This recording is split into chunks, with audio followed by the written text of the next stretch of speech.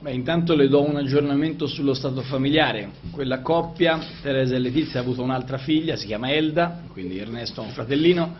e continuo a pensarla esattamente come al mio posto del 29 novembre, nel senso che credo che non possano esserci bambini di serie A e di serie B. Eh, detto questo, l'Italia è un paese che al momento non ha una legge neanche sulle unioni civili, noi pensiamo che sia arrivato il momento di mettere la parola fine a questo lungo rinvio costante che c'è stato, c'è stato anche tecnicamente nei fatti un ostruzionismo che non si è palesato in una manovra parlamentare ma in un continuo ritardo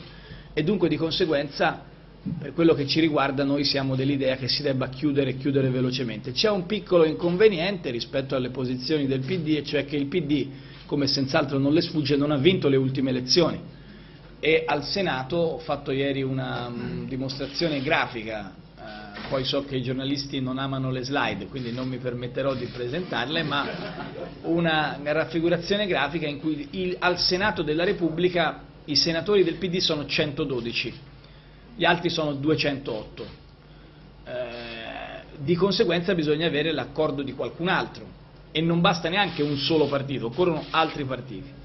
Eh, su questa linea c'era una prova di intesa con il Movimento 5 Stelle che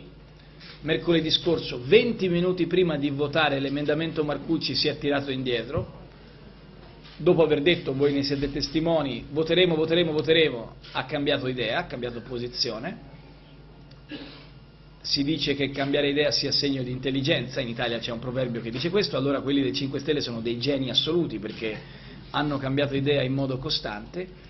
Oggi il problema che noi abbiamo, sul quale io sono molto preoccupato, è che non si vada avanti da nessuna parte, cioè che questo uh, dibattito sia bloccato come è accaduto in passato e quindi di conseguenza ieri ho detto io che sia la strada di un emendamento del governo che fino a questo momento è rimasto fuori dalla discussione o che sia la strada di un accordo parlamentare c'è soltanto una cosa su cui noi dobbiamo dare certezze, cioè che questa legge si faccia davvero e si faccia senza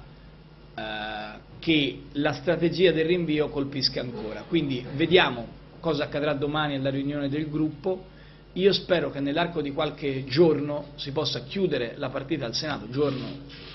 di dibattito parlamentare, e poi andare alla Camera e approvare velocemente. Non si tratta quindi di concedere qualcosa agli altri, si tratta di prendere atto che bisogna arrivare a 161 voti. Siamo a 112, ne mancano 50, 49